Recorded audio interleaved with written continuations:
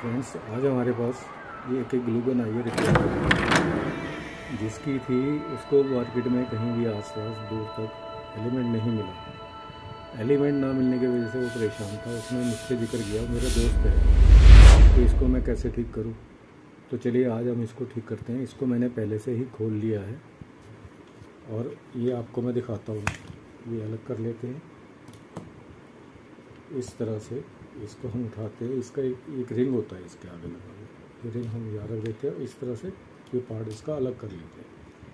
Glue stick इसमें फंसी हुई है तो वो फंसी रहेगी। अब देखना ये है कि इसमें एलिमेंट कैसे डालें। मेरे पास ये दस वाट का एलिमेंट है। इसको मैं आज इसके अंदर फिट करके देखता हूँ। वैसे तो ग्लूगन में बीस वाट चालीस वाट के एलिमेंट लगते हैं। लेकिन आज हम ये करके देखते हैं, ये काम करेगा या नहीं करेगा। चलिए, आज हम इसको फिट फिट करते हैं एलिमेंट को।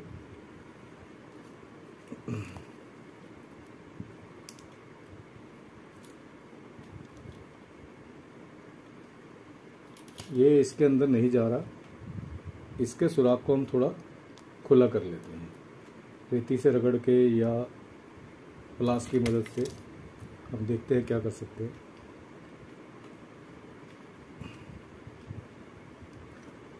ये काफ़ी हार्ड है। इस तरह से नहीं मानेगा ये। चलिए इसको देखिए रगड़ थोड़ा इसका हल्का सा स्पेस हमने लूज़ करना है।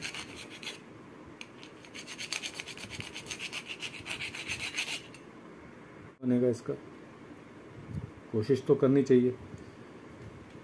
एक तरफ़ से ऊँचा नीचा है, हम इसको इस साइड से डाल के देखते हैं।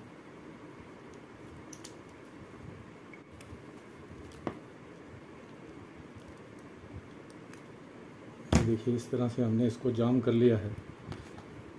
ये वायर लगा के इसका हमने जुगाड़ कर दिया। देखिए, दो टुकड़े वायर के लगा के हमने इसको इस तरह से फिट कर लिया है। ये देखिए, अब इसके कनेक्शन करने बाकी हैं, वो करके इसको हम चेक करें।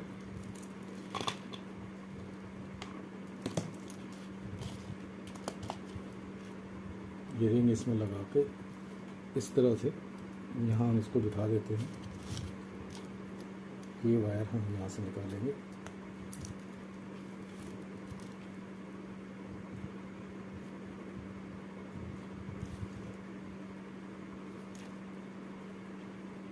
अभी थोड़ा सा ये टुकड़ा प्लास्टिक के स्टेप जो स्टैंड होते हैं जिन पे हम कसते हैं, उससे टच हो रहा था।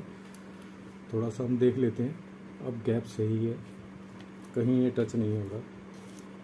अब इसकी वायर लेते हैं ये इसकी मेन लीड इस तरह से हमने इसके दोनों वायर ये कस लिए। कसने के बाद इसमें ये आपस में शॉर्ट ना हो। उसके लिए एक क्लिप होता है। ये अंदर से मेटल होता है, इसमें एल्युमिनियम वगैरह कुछ ऐसी चीज़ होती है जिसको हम इसके अंदर डाल के इस तरह से प्लास से टाइट कर देते हैं। देखिए, ये थोड़ा सा मैंने ज़ोर लगा दिया टूट भी गया, लेकिन कोई ऐसी बात नहीं है। हमारा मेन हिस्सा जो है वो बचा हुआ है। इसलिए आपसे कह रहा हूँ कि आप थोड़ा ध्यान रखिएगा। और अपनी वायर को इस तरह से हम यहाँ इसमें बिठा देंगे। अब हम ये गन का, ये पॉइंट लगाने के लिए करते हैं। इसका एक स्प्रिंग होगा, जो इसमें लगता है।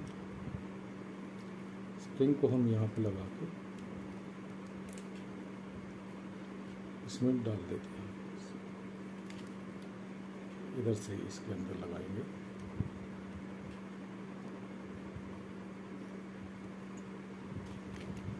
ग्लू स्टिक को इसके ऊपर लगाते हुए, देखिए इसमें थोड़ा सा स्लो करना पड़ता है काम, क्योंकि एक चीज़ को अगर हम फिट कर रहे हैं, इसको थोड़ा इधर उधर करेंगे तो बाकी वायर भी हिल जाती हैं। तो ख़ास काम है नहीं इसके अंदर कुछ भी। ये स्प्रिंग लगाना है इस प्रकार से इसके अंदर, इसको आपने पलट देना है।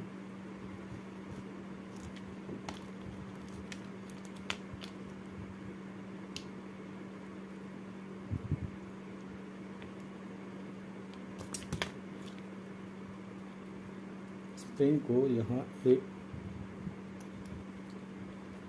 पॉइंट दे रखा है, उसके अंदर डाल देना है। ये हमारा ओके हो गया।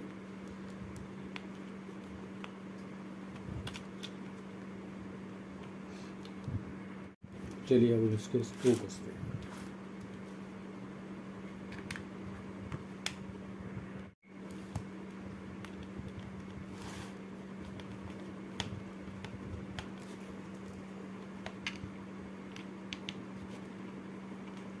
दोस्तों, कोई भी वीडियो हो, चाहे आपने पहले देखा हो, मेरा हो या किसी और का हो, वीडियो को पूरा देखना चाहिए। पता नहीं किसमें आपको कोई ऐसा पॉइंट मिल जाए जो आपको पहले से मालूम नहीं होता। इसलिए प्लीज़ वीडियो को पूरा देखें।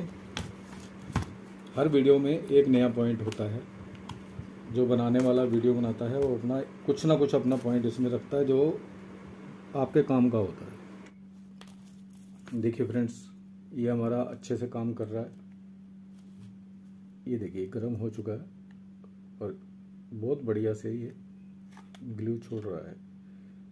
इसमें ये देखिए, पहले कोई कलर स्टिक लगाई होगी उन्होंने, जिसका रंग आ रहा है। पीछे हमारी ये वाइट स्टिक है।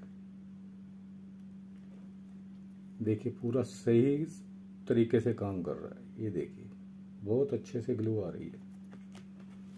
मेरा वीडियो पूरा देखने के लिए धन्यवाद। अगर आप इस चैनल पर नए आए हैं तो प्लीज़ मेरे चैनल को सब्सक्राइब कीजिए लाइक कीजिए शेयर कीजिए। थैंक यू वेरी मच आपका बहुत बहुत धन्यवाद। शक्ति डेक में आपका स्वागत है।